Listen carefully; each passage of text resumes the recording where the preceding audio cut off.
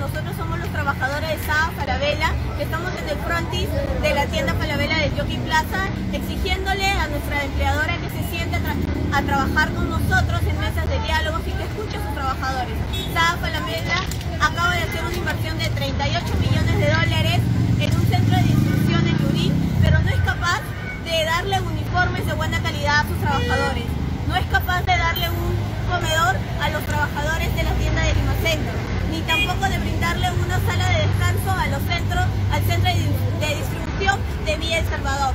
Le exigimos a Saba Falabella que si anualmente tiene ganancias millonarias, anualmente producto de todos los peruanos, que compartan con sus trabajadores y no brinden solamente 5 soles. Nosotros somos trabajadores, no nos puede dar este tipo de maltrato. Exigimos también que se le considere a las cajeras y no les recorten sus comisiones. Ustedes como clientes se han podido dar todo lo hacen en las cajas. No lo vamos a permitir y vamos a seguir con nuestro volanteo todos los días hasta que Sada Falabella se siente a escuchar a sus trabajadores.